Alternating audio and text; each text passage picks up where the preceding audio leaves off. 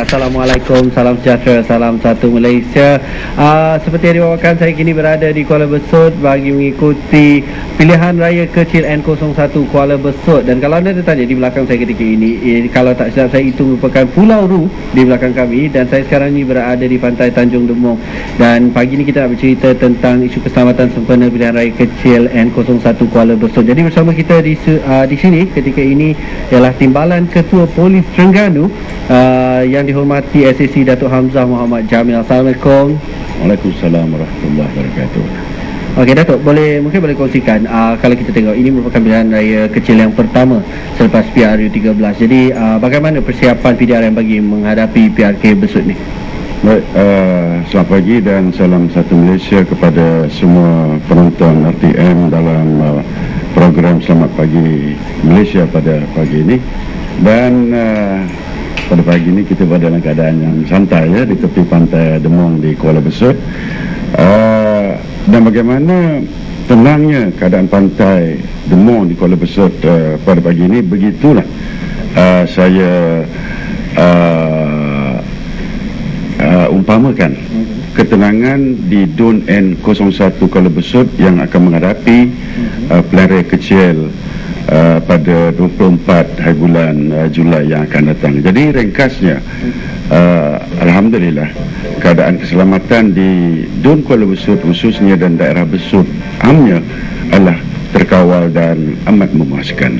Hmm. Dan saya difahamkan juga, uh, PDRM juga ada beberapa elemen uh, polis yang telah ditugaskan di sini. Jadi mungkin boleh kongsikan uh, siapa yang bertugas di sini sekarang ini. Ya. Yeah. Uh, kita menilai pilihan kecil Dun Kuala Besut uh, yang akan diadakan ni agak sengit. Uh, mengambil kira bahawa PRK ini seperti yang Cik Ali sebutkan tadi merupakan PRK yang pertama. Selepas PRU 13 diadakan pada 5 Mei yang lalu.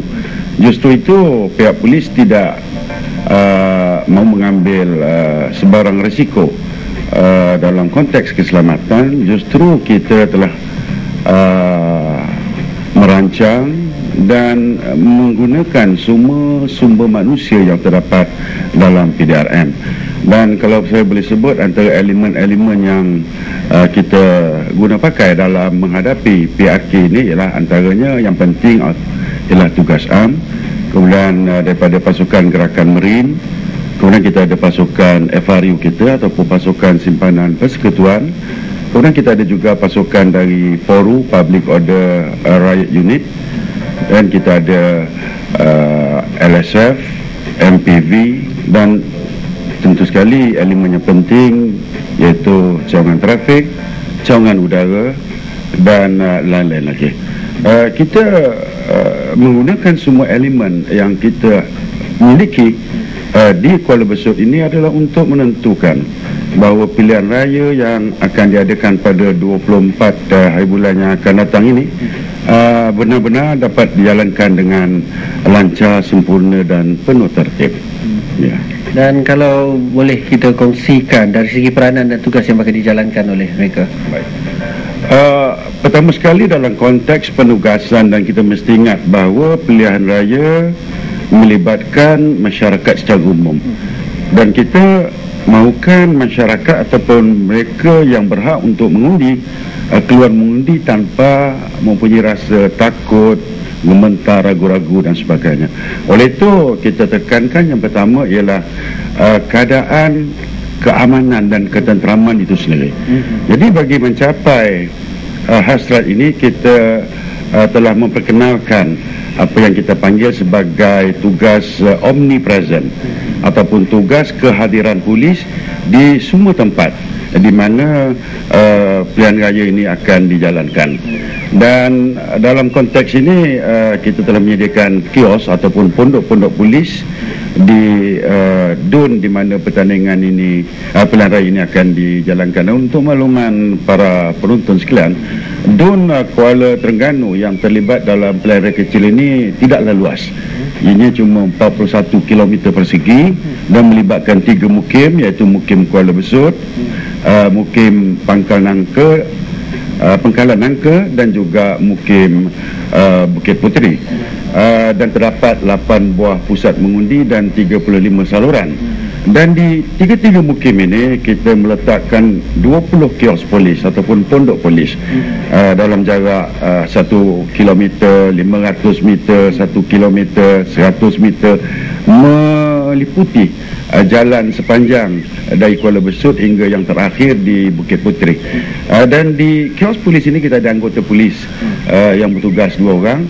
Di samping uh, 200 anggota polis tugas am yang akan bertugas secara bergilir-gilir sama ada berjalan kaki dengan kenderaan motosikal bertujuan untuk mewujudkan kehadiran polis uh, keberadaan polis di tempat tersebut uh, bagi menentukan uh, keamanan ketenteraman dan memberi keyakinan kepada penduduk amnya dan Uh, mereka yang keluar mengundi khususnya hmm. untuk keluar mengundi. Kalau tahun lepas ataupun dalam PRU lepas, uh, jumlah mereka yang keluar mengundi adalah 87%.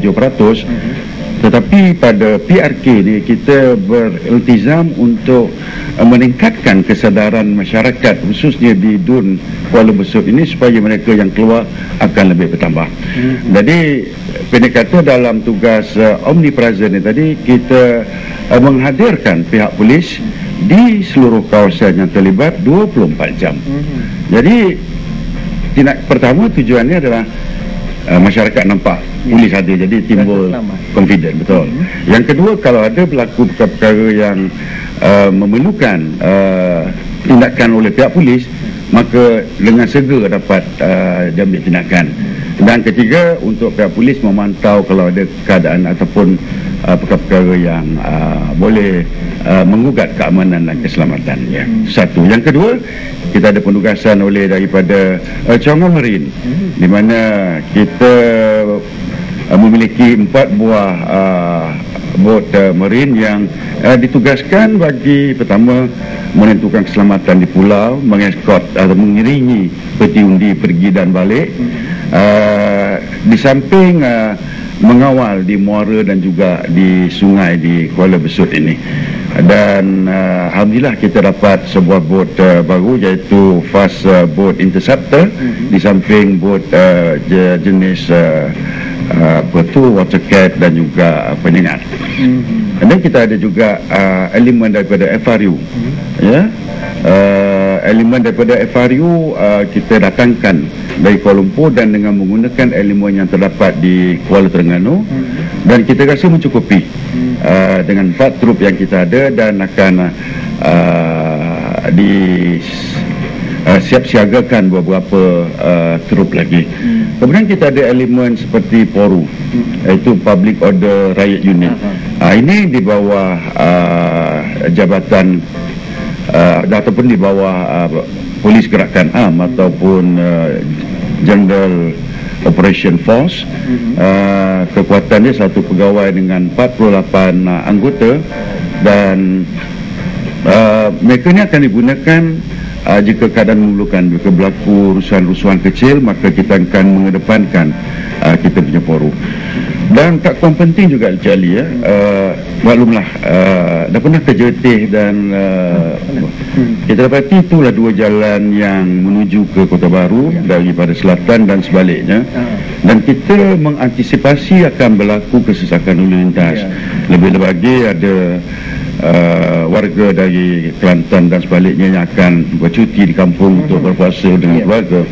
Jadi kita telah menugaskan hampir 300 anggota polis trafik. Mm-hmm. Uh, tugas mereka adalah untuk memastikan kelancaran perjalanan bukan sahaja di Dun uh, Kuala Besut ini mm-hmm. tetapi juga jalan utama yang menghubungi uh, Kelantan dan Selatan maksud saya ke Besut, uh, Kuala Terengganu dan sebagainya. Mm-hmm. Uh, kita juga mempunyai elemen seperti MPV iaitu uh, Mobile Petrol Vehicle mm-hmm. Yang akan membuat rondaan dari uh, masa ke semasa khususnya di tempat di uh, mana pilihan raya ini akan diadakan. Ya. Dan kalau kita lihat sejak dari uh, hari penambahan calon pada 12 hari bulan dan sekarang ini sudah masuk uh, 18 hari bulan jadi tinggal dalam kira-kira 6 hari lagi sebelum pilihan raya. Jadi bagaimana uh, situasi keadaan keselamatan di sini? Ya, uh, alhamdulillah.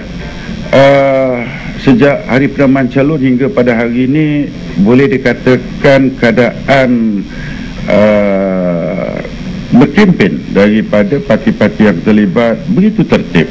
Uh, begitu uh, beretika.